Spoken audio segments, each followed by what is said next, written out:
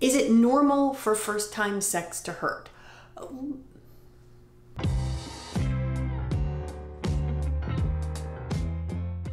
When I have the opportunity to work with youth, a question I hear often is Is it normal for first time sex to hurt, or is it normal to have pain the first time you have sex?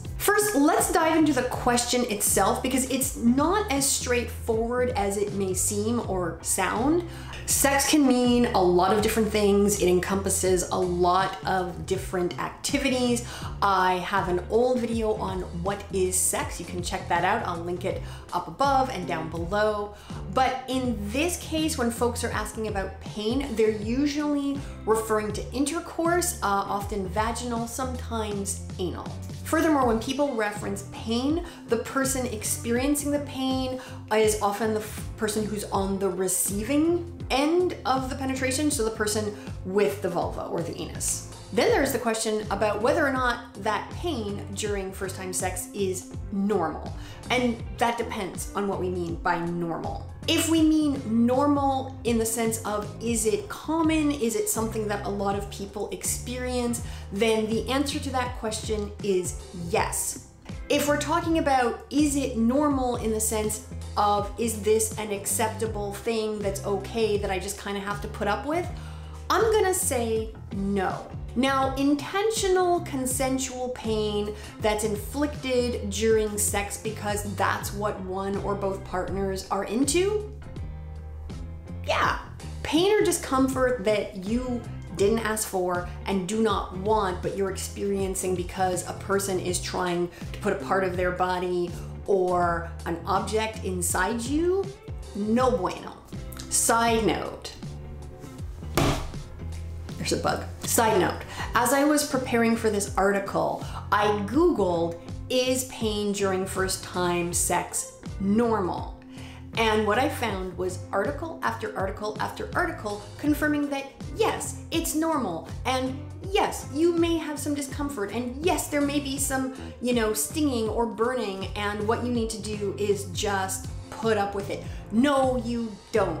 I'm gonna throw this out here to y'all folks who are writing these articles. Some which are being written for like highly reputable medical or sex education websites. Stop telling people that experiencing pain during sex is something normal that they just have to endure. It's not, and they don't. I believe that sexual pleasure is important for a number of reasons, not the least of which is because pleasure is often the reason that a lot of us have sex.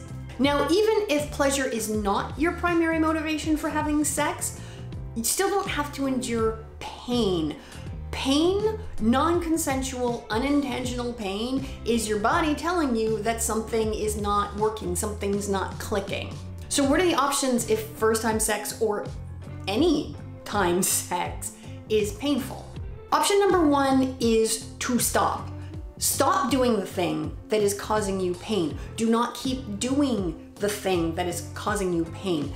If penetration or an attempt at penetration is hurting or uncomfortable, do not force it.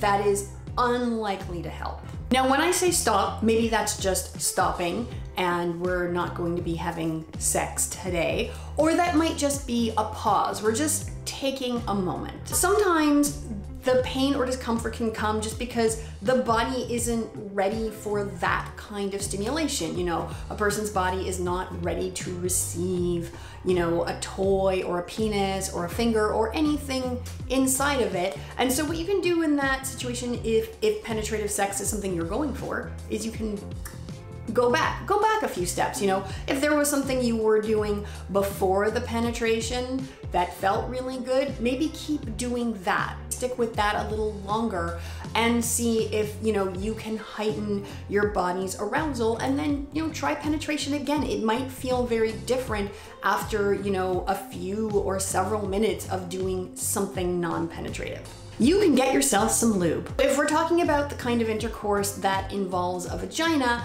then I need y'all to know something because there's this pervasive myth that the degree to which a vagina lubricates or gets wet is an indication of how turned on a person is. It is possible that you can be very, very aroused and very, very down for having something inside your vagina, but your vagina just isn't that wet. In which case, there are lots of store-bought lubes. They come in different varieties. There is oil-based, which I do not recommend for vaginas. Do not use them with latex products because they'll degrade them.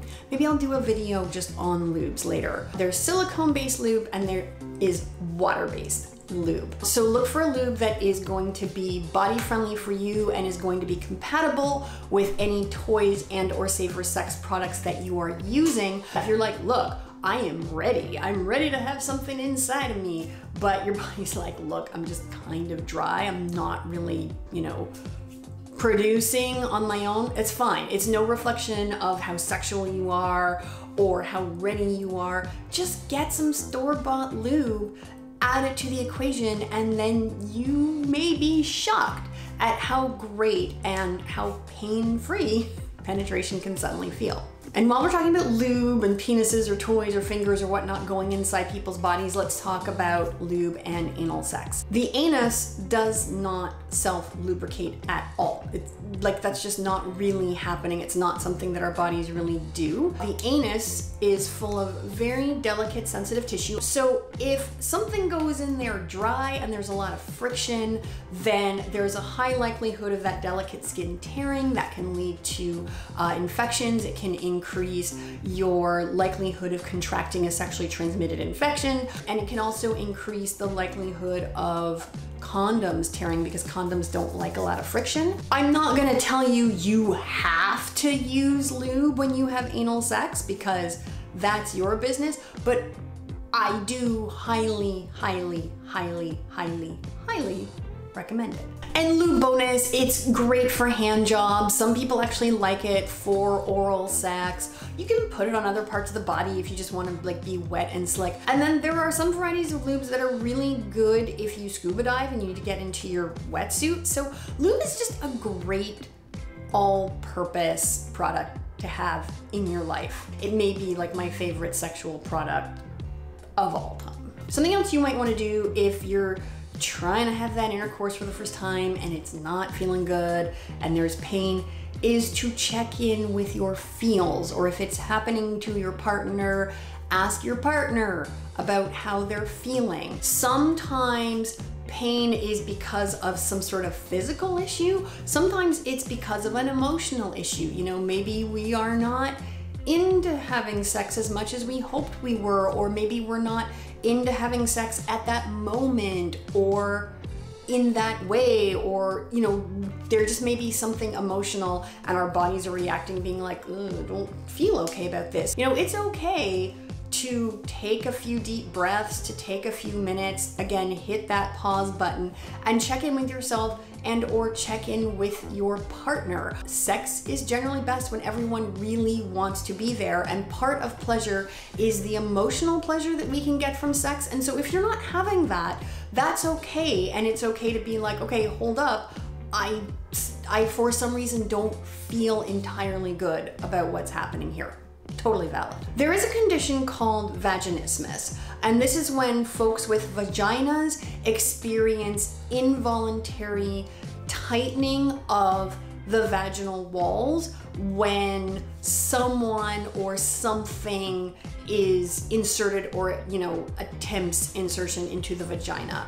And there are a lot of different variations of vaginismus. You know some folks experience it no matter what they try to put in their vagina. So it's not only you know during sex but it can be you know when they attempt to uh, insert a tampon or anything else. Some people it's more situational like they'll have it in certain situations and not others. If you are living with vaginismus then yes, it can make intercourse, penetration, receptive kind of sex difficult or painful, there are different treatments and therapies that are available. Um, if you have vaginismus and you find that this is impacting your quality of life or it's preventing you from experiencing the kind of sex that you want to be experiencing. So if that's something that is happening, um, you know, check in with a medical professional that you trust and you feel that you can really talk to openly about what's going on. And last, but definitely not least,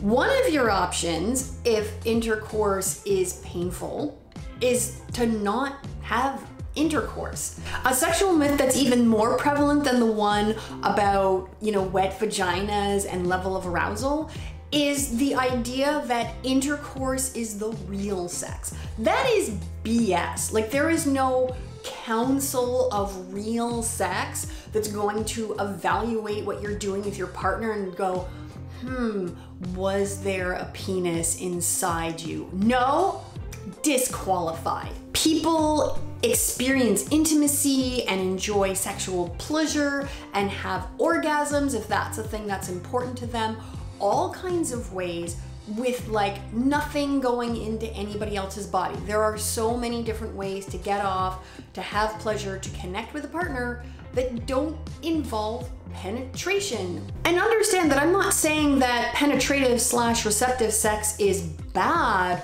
or that you shouldn't like it. I'm just saying it's not mandatory. So, you know, if you try it and you're just like, hey, I'm just not really into this, then don't do it. So, to summarize, is painful first time sex normal? Yeah, it's common.